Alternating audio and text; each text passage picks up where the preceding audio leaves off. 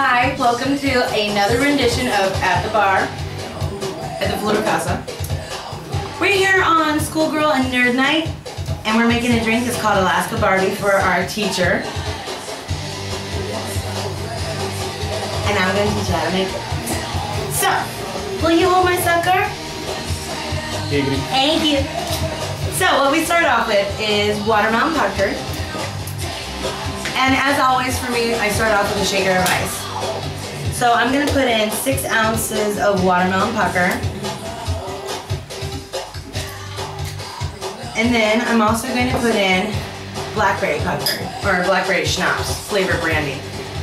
And I'm gonna put in about four ounces, no, let's do three.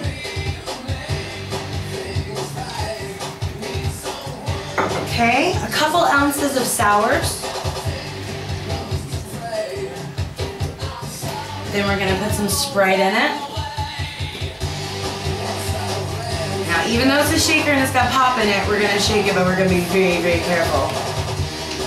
And a bit more bubbles. Let's see if I can get my white shirt messed up before the night even starts. and then just a little bit of grenadine because it is an Alaskan Barbie, so it's definitely gotta be pink. So, I haven't been drinking yet. I'm a little bit smarter. Shake it. Oh, it's bubbling. Thank goodness I did that. oh, Hate it when the bubbles explode on you. I, I do. Oh, there we go. Okay, and since this is for our teacher tonight, it's going into a coffee cup because teachers always drink out coffee cups. And who really knows if there's coffee in there? I don't think so. Anyway, for my teacher.